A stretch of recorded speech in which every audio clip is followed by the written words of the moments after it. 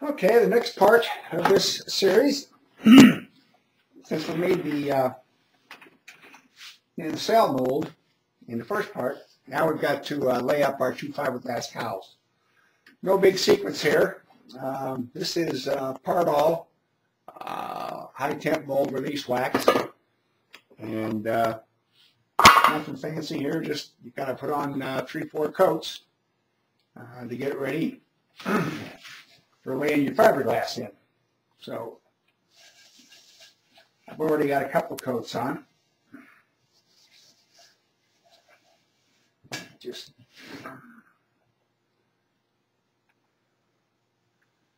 put a few more on here. Another good one. I'm going to keep doing this until you get a nice sheen when you're doing your buffing. This Ultracal, the first first coat, it it's, feels horrible, gritty and everything else because it's, you know, it's a little grainy. It's not like the inside of a fiberglass mold, but uh, you put that on in, in there and then uh, polish it out. It'll still it'll roll off a little bit, and then your second coat uh, will start to smooth out after that, and then it feels pretty normal like a inside of a fiberglass mold would. But you don't have to worry about that. That first coat sometimes can give you concern if you're not used to it. Make you think you've got a bad mold, but you don't. Okay, I got that. The nose cone. then we want to uh, put some wax here on this outer rim. Keep things from sticking.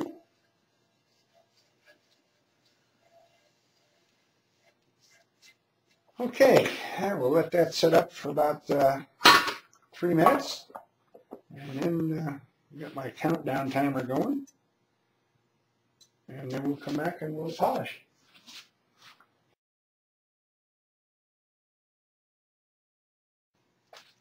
Okay, three minute timer's uh, ticking away. So, I don't use anything fancy, just old t-shirts I cut up. That's what I use mainly in the shop for rags anyway. So, get in there, give that a good polish. You can start to feel it getting nice and slick.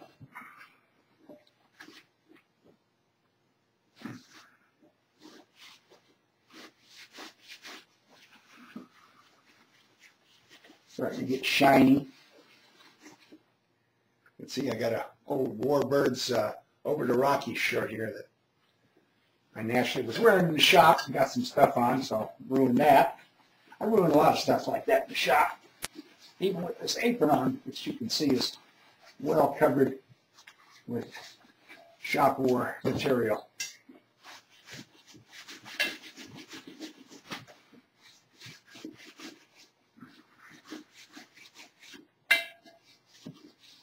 Oh, yeah, see, I'm starting to get shiny now. That's what we like to see. Nice gloss. Oh yeah, that feels smooth. This one's still a little rough. Get another coat on that. Yeah, this is feeling good.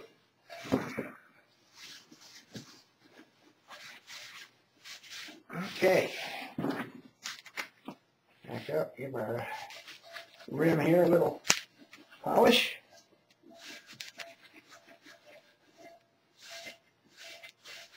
Okay, that's the third coat. I'm going to put one more on there.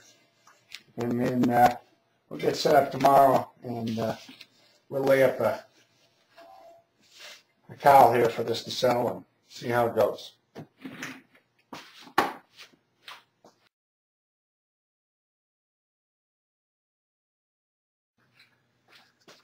Okay, the wax is all dry. Now the next step is to put mold release inside the cowl. Now, um, I don't like using PVA, which a lot of people use, which I used to use, because I have such a problem with it fish-eyeing over the wax. So what I use is Safety Lease 30. It's a um, PTFE mold release. It's Teflon, it's water-based, has no silicones in it, And all you got to do is wipe it on, a light coat of it, with a uh, soft cloth. So I wipe on two coats. You give it about 20 minutes to dry, 30 minutes to dry, or you can, actually you can air dry it about 10 to 15 minutes. Just a nice light coat of it. Make sure your rag is good and saturated and you're getting good coverage.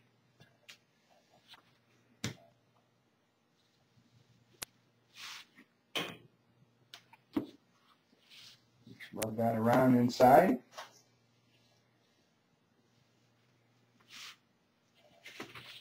Goes on real easy, no fish eyes, no problems of that nature.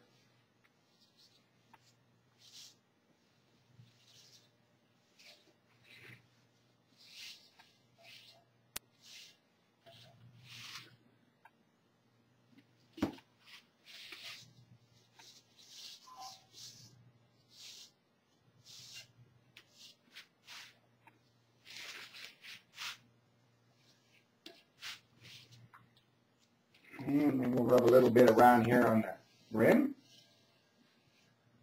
Soak that down good. Okay. Theoretically, we're good to go for fiberglass.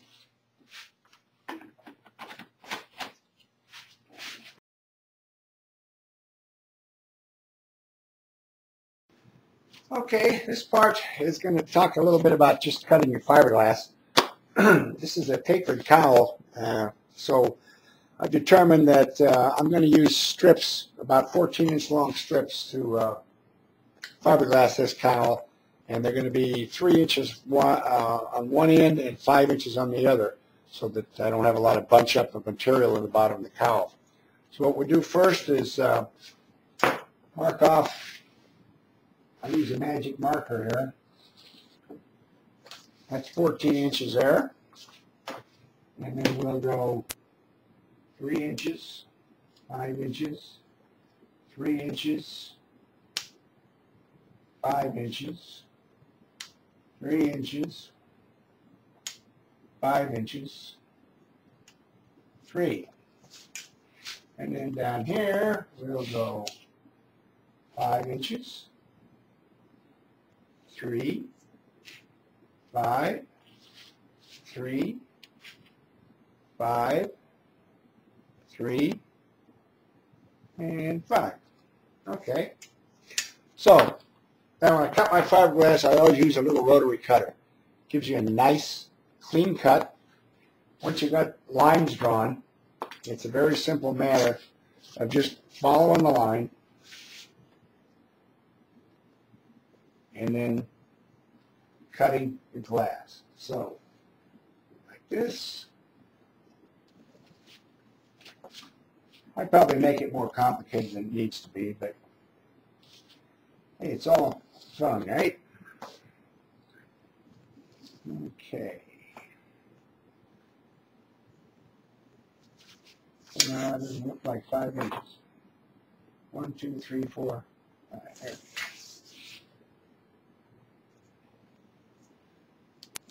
Okay. So we got those, so we'll make a cut here. You see how nice these woven covers cut. It gives you a really nice sharp edge to work with, none of that fray and stuff coming out. So there's one piece, two pieces, three pieces, four, and six. Okay, so I'm going to probably use, uh, this is a layer of four ounce cloth I'm going to start with. Uh, I'll probably do a layer of four and a couple layers of six and then maybe another layer of four uh, in the cowl. So uh, I'll get all those pieces cut out and laid out and then we'll get into the actual layup uh, of the cowl.